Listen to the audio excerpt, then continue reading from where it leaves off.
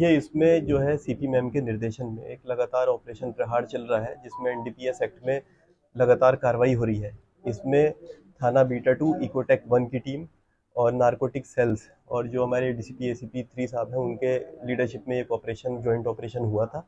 और उस ऑपरेशन में एक राहुल चौधरी नाम का व्यक्ति है, जो कि मूल रूप से मेरठ का रहने वाला है, उसको गिरफ़्तार किया गया है। इसने एक ओजी प्लांट की फ़ार्मिंग का सेटअप अपने फ्लैट में जो कि बीटा में एक सोसाइटी है, वहाँ पे पेनोरमा सोसाइटी है, वहाँ पे सेटअप कर रखा था।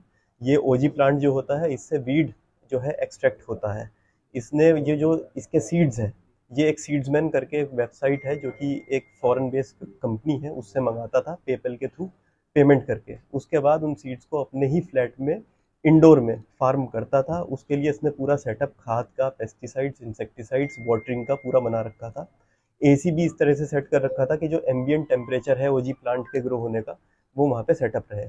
क्योंकि फ्लैट में सनलाइट नहीं होती थी तो सनलाइट की भी एनवायरनमेंट क्रिएट करने के लिए इसने बताया था कि अमेजोन से कुछ फुल स्पेक्ट्रम लाइट्स हैं, जो इसने मंगाई थी और जिससे वो सनलाइट वाला एनवायरनमेंट ये क्रिएट करता था।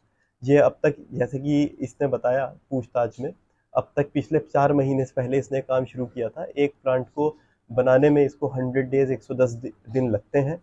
और एक प्लांट में जो लागत सारी चीज़ों की मिला के आ रही थी, इसको फाइव टू सिक्स थाउज़ेंड की आ रही थी, जिसको fifty to sixty thousand rupees में एक प्लांट को ये डार्क वेब पे अलग अलग चैट रूम्स में जाके इसने कुछ सेल भी किए हैं और आगे भी ये डार्क वेब पे ही सेल करता था। तो इस तरह से इसका पूरा ये एक बिज़नेस मॉडल था, जिसको बस्ट किया गया है। इसमें 80 प्लांट्स दो किलो गांजा और बहुत सारे असॉर्टेड इक्विपमेंट्स केमिकल्स इसमें जो फ़ार्मिंग में यूज़ होते थे बरामद किए हैं।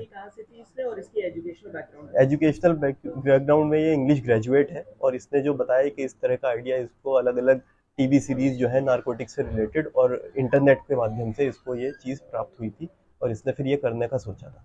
लागत क्या आती थी एक प्लांट पे और कितने में एक प्लांट लगभग फाइव टू सेवन थाउज़ेंड जो है लागत आती थी। हंड्रेड डेज़ में तैयार होता था।